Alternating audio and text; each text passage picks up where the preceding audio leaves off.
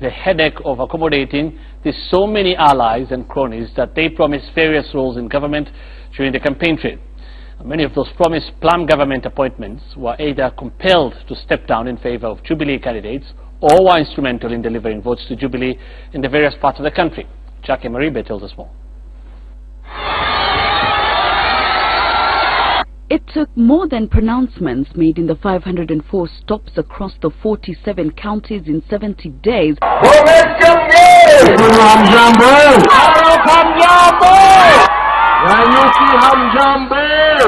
of the Jubilee presidential campaigns, pronouncements that were geared towards protecting the six-piece suit vote. And that was, on the one hand, stepping down to, quote, not spoil the vote in favor of Jubilee candidates.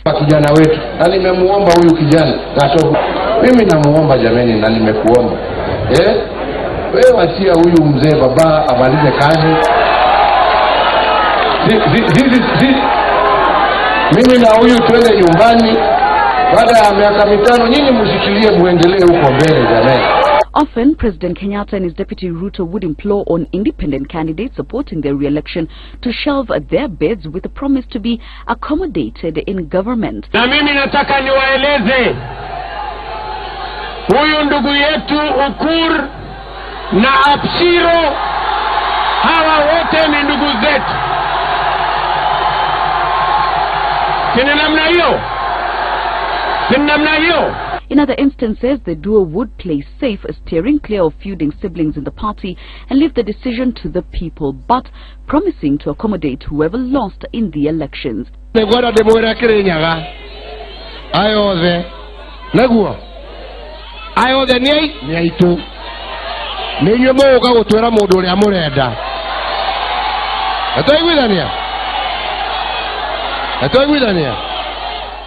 There was as well those who delivered the vote in their counties that are now legitimately expecting to be rewarded.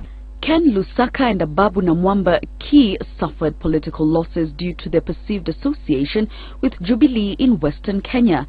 Others were Charles Nyachae in Kisii, Gideon Mung'aro in Kilifi, Martha Karua in Kirinyaga, Benjamin Cheboi in Baringo, Ukur Yatani in Marsabit, just but some notable names that could benefit despite losing in the polls, and many that took the risk to decamp from the opposition. A number of Ukambani leaders allied to Kalonzo Musyoka's Wiper Party already keen to join the government bandwagon. Today, we just wanted to to show our support for the election of the president, and from there we will move to do other things that will follow to move the community from opposition to government. if you compare the percentage Uhuru got uh, in 2013 and today's percentage, it will tell you that there is a change. And the mood is that the combination will work with the government.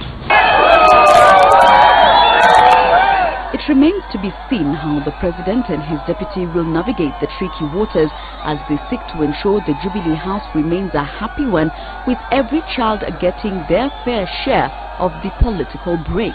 Jackie Maribe for the big question.